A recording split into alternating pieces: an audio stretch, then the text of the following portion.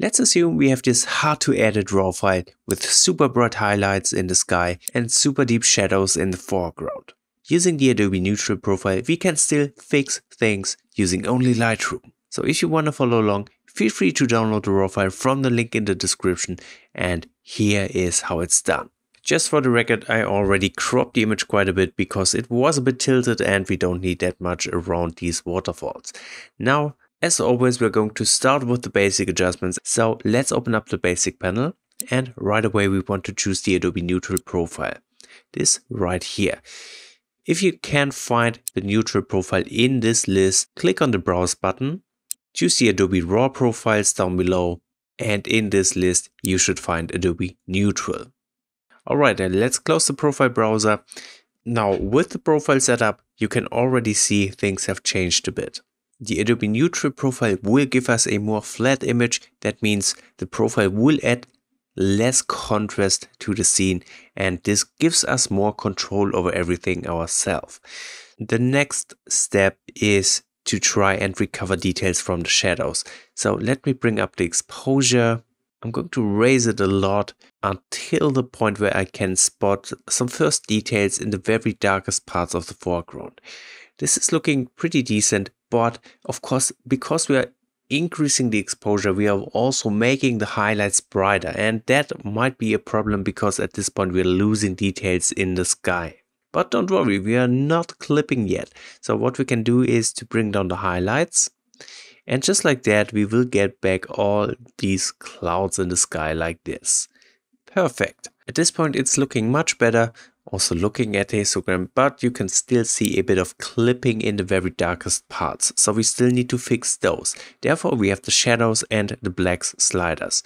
So let's simply start by raising the shadows, getting out more and more details this way.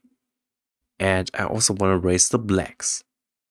Raising the blacks will fix the clipping if you go high enough, but of course this will lessen the contrast dramatically. So at some point we want to reintroduce a bit of contrast. Although raising the blacks creates a very soft look and if you want to create dreamy images that would be a pretty good start. And we can take a look at the original raw file. You can see we have so much more details in every area of the image and that's exactly what we want. And the Adobe Neutral profile was really helping with that. As I said, we are losing a lot of contrast here, so we want to reintroduce some. I'm using the presence tab down below to do that. Of course, the texture will only help with the sharpness. Still, I want this image to look sharp, so I'm going to increase it a bit. Then the clarity will help with the midtones contrast. So let's bring it up a bit as well. And I'm using dehaze, which is a really nice way to reintroduce some more contrast. Okay, one thing the Adobe Neutral profile also does is to reduce the overall saturation a lot. You can see it in this image, we are lacking a lot of colors. So how do we counter that? I'm going to simply raise the vibrance and this is not enough in this case, so I'm also going to raise the saturation quite a bit. I also want to work on the white balance.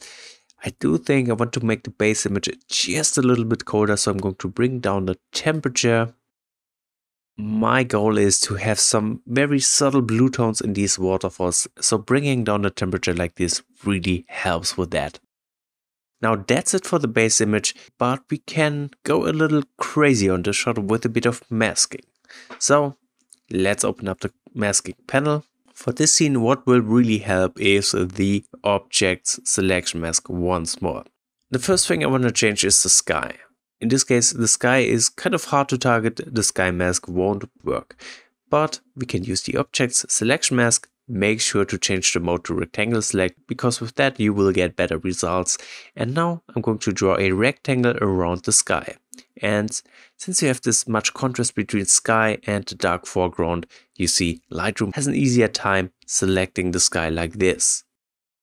Now I don't want to make the whole sky darker. I want to have a bright spot right above these mountains to make it look more interesting. I'm going to subtract a radial gradient. Let's take out a big chunk from right here. Alright, I think like this should be fine. Now what I'm going to do to the rest of the sky is to bring down the exposure, making everything quite a bit darker this way. Then I'm going to bring up the contrast, trying to get out some more cloud structure this way. And let's bring down the saturation because I really don't want to have some heavy blue saturation going on in here. Much better. Okay, now we can already see the glowing spot, but we can further enhance it. So I'm going to use another objects mask. And again, I'm just drawing a rectangle around that part of the sky. Again, we get a perfect selection. This time, I want to make the bottom part above the mountain brighter. So I'm going to click on those three dots, choose intersect mask with, uh, and let's choose radial gradient.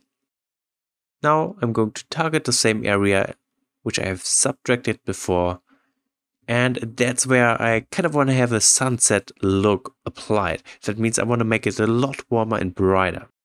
We can start by increasing the whites, which will make the highlights brighter, obviously. We can also increase the blacks, just brightening up some of these areas some more. And then to introduce colors, I'm again using the white balance settings, bringing up the temperature a lot.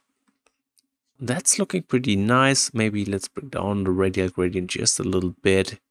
And then I want to bring up the saturation so we can nicely see the colors in here. All right, looking good. I still think the right, the left side of the sky is a bit too bright. Let me target it one more time. Let's create another objects mask, draw a rectangle around the sky, and let's subtract a linear gradient, taking out all the sky from the right side like this. Okay, and then again, let's bring down the exposure. Maybe even increase the contrast, but that should be enough.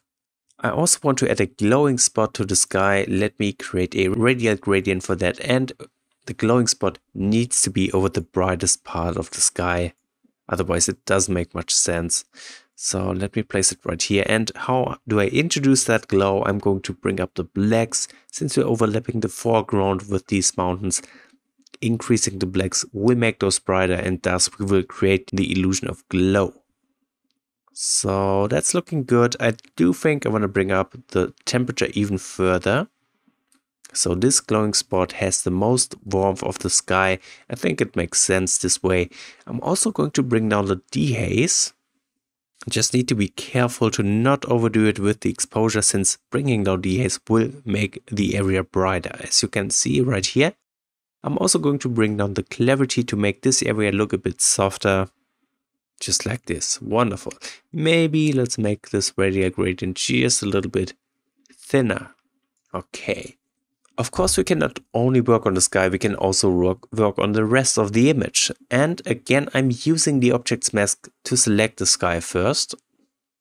And now all we need to do is to invert this mask. And just like that, we get a perfect selection for the foreground and the landscape in the distance.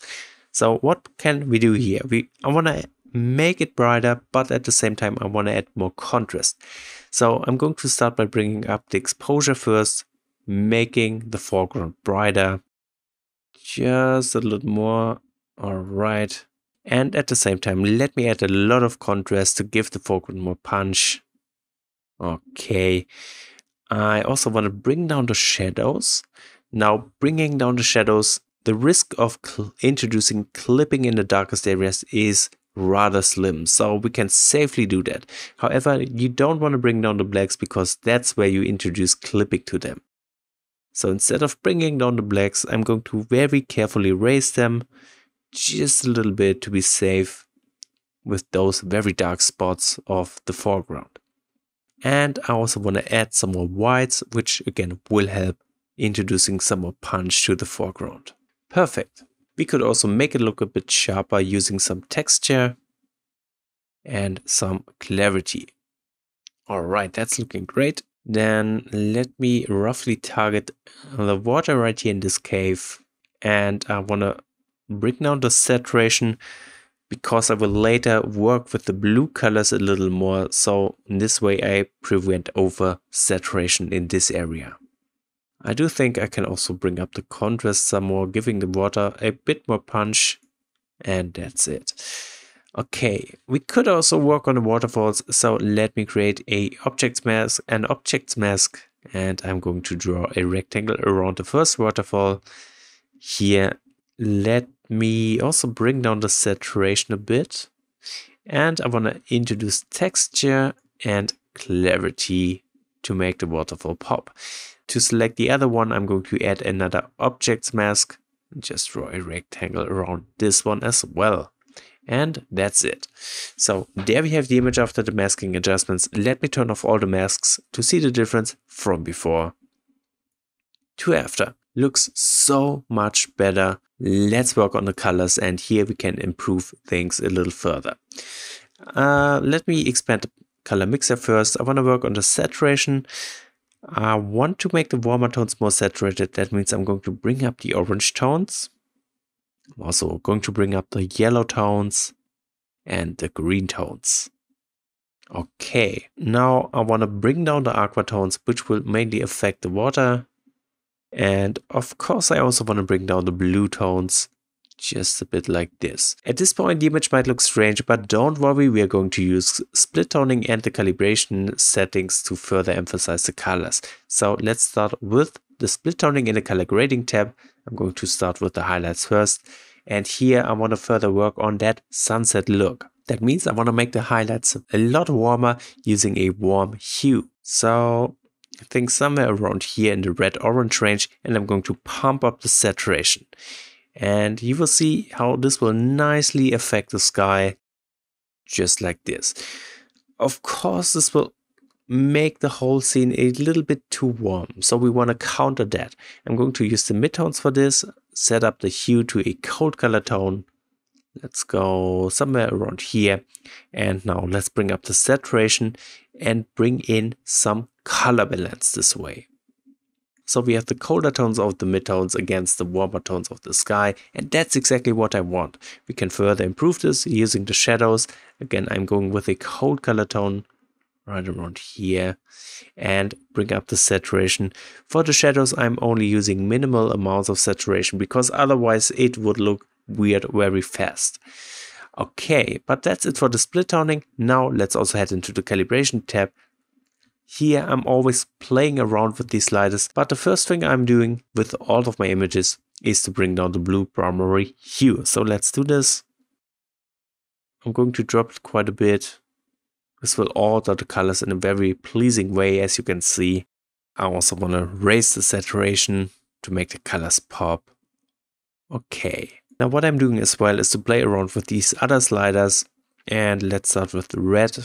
I'm going to bring up the hue here and let's also bring up the saturation. Okay, then uh, let's bring down the green hue and also bring up the saturation. All right, I think that's it for the color grading and now the only thing left to do is the sharpening. So let's open up the details panel. I'm going to bring down the radius, increase the details, add a bit of masking while holding down the Alt key so we can actually see where the sharpening will be applied and then let's increase the amount of sharpening. Actually, of course, we need to clean up this image. So we could do this in Lightroom but I really don't want to use this slow performing method. Instead, let me do this in Photoshop. I'm going to right click on the image, go to edit in and choose open as smart object in Photoshop. I'm going to duplicate this layer first by hitting Ctrl J, then we need to rasterize it to be able to work on it. And first, let me get rid of my girlfriend right here. I'm going to use the lasso tool, going to create a rough selection around her Actually, no. Let me use the remove tool. I'm just going to brush around her like this. Okay, and let's see what will happen. Perfect.